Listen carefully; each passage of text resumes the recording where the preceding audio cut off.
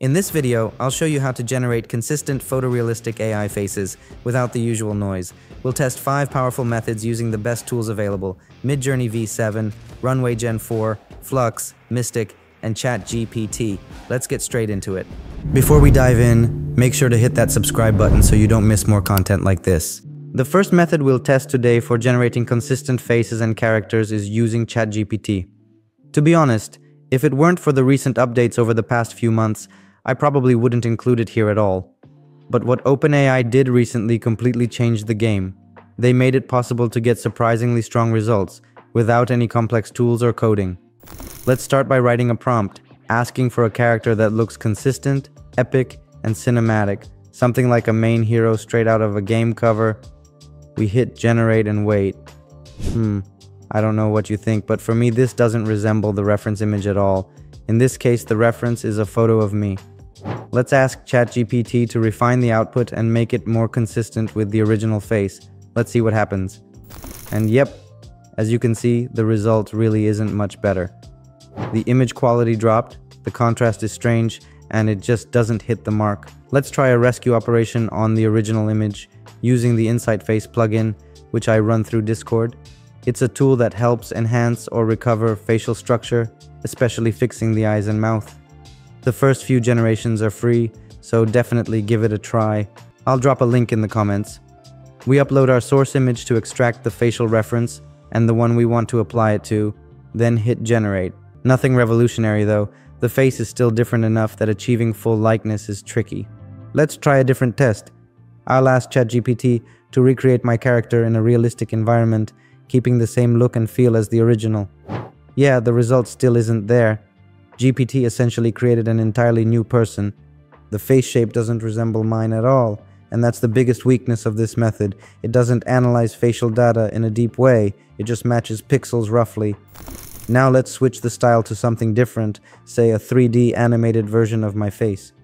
And now, we're talking. This looks a lot better. In this case, ChatGPT preserved my character and changed only the art style. I think this is where GPT really shines. Style transfers are its strongest use case. One last test. I used a fairly advanced portrait-based prompt. I'll drop the link to it in the comments. Okay, the eyes and lips didn't go in the right direction at all, but the overall image looks cool and I can see the potential. Let's run this one through Insight Face. Much better, way more aligned. In a specific style this works. You can tell it's loosely based on me, but the image still isn't very sharp. That's where Topaz Labs Gigapixel comes in. I like using the high fidelity setting for sharp upscale without ruining the original art. Alongside video AI, it's one of the most important tools I use. And now, this looks great, clean, clear, and stylistically refined. Now let's move on to Midjourney, using the new Omni reference feature in version 7. As you can see, I've prepared a list of well-tested prompts. The link is in the comments if you want to grab them. I'll choose one and begin tweaking the settings. These are my default settings for this workflow, but I encourage you to experiment. Let's generate with one of the prompts. Not bad. Stylistically it's on point, it looks really nice. But the face isn't quite right, still room for improvement. Let's take another prompt, and this time increase the Omni reference slider. There we go. Much better. Still not identical to the original reference image, but definitely closer. Trying again with a third prompt back to earlier settings. Better. Let me regenerate once more. After a few more tries, I've got one that I think is solid in both style and likeness. Time to upscale with Gigapixel and then prep it for the next phase. Let's run this one through Insight Face. Now that looks almost exactly like me. Well, maybe a slightly skinnier version of me, which isn't a bad goal for the next few months. Next, I'll upscale again using Gigapixel. This is something I now do for every graphic I generate. It boosts quality a lot. Now we're really getting there. I'll also do a quick Photoshop polish, enhance sharpness, and add natural texture. Final result? Really strong. Midjourney's main strength here is in generating natural face shapes. Version 7 is especially good at that. Downsides? Sometimes the faces just miss the mark and you'll have to do multiple attempts. But since MJ is unlimited and renders are quick, I recommend experimenting. And when combined with Insight Face and Gigapixel, the results go well beyond what ChatGPT alone can offer. Time to explore a newer approach using Runway Gen 4. a powerful tool for compositing multiple references. Here you can input several visual references, people, objects, scenes, etc.